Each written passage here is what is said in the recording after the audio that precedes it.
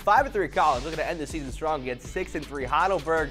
And we're going to start things going here for Heidelberg on the opening drive. Guys, you got to check this out. Chase Kraft rolling out, and he goes deep.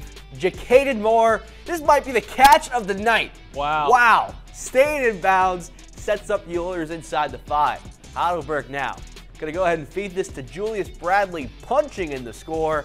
Oilers one for two, and it was a good try, so they're up 8 0. Collins, they gotta respond quickly here against a team like Heidelberg. Trayvon McGee gets it going. Firing a dart. Mario Luvine, a tall task to bring down, and that's a first down for Collins. A few plays later, McGee pump fakes, and there's Lazavion low over the middle for a touchdown.